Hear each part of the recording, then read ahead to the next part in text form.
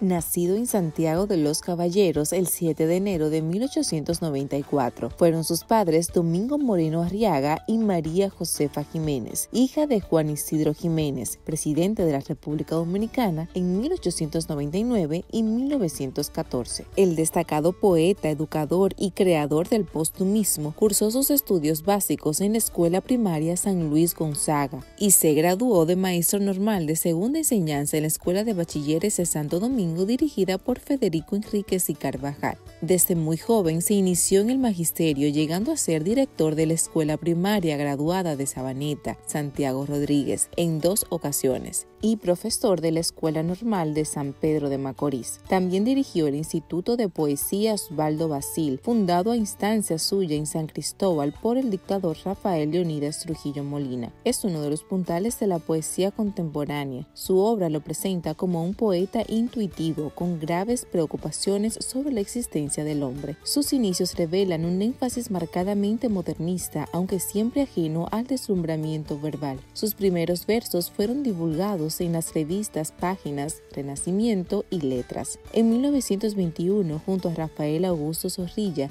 Andrés Avelino, Vigil Díaz y Francisco Ulises Domínguez, anunció en la revista La Cuna de América el nacimiento del postumismo. Este movimiento poético que patentizó mediante el uso de elementos genuinamente nacionales, el versolibrismo fue iniciado por Vigil Díaz en la segunda década del siglo XX.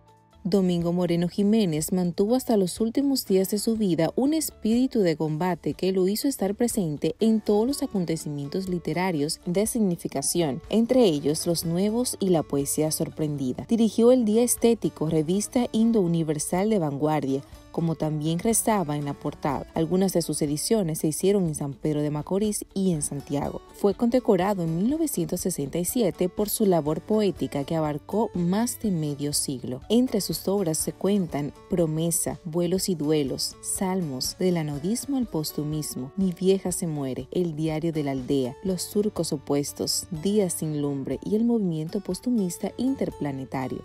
Domingo Moreno Jiménez falleció en Santo Domingo el 23 de septiembre del año 1986.